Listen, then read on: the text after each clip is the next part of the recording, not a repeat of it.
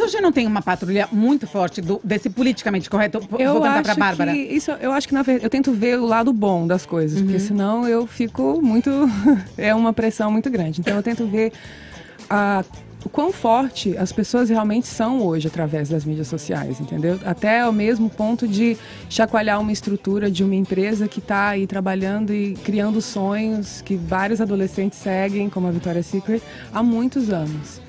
Eu acho muito interessante termos essa força de lutar por- pelas minorias e eu acho que essa luta tem que continuar. Eu adoraria é, ver todas as pessoas representadas ali. Eu adoraria Mas não ver. dá, não dá pra ter.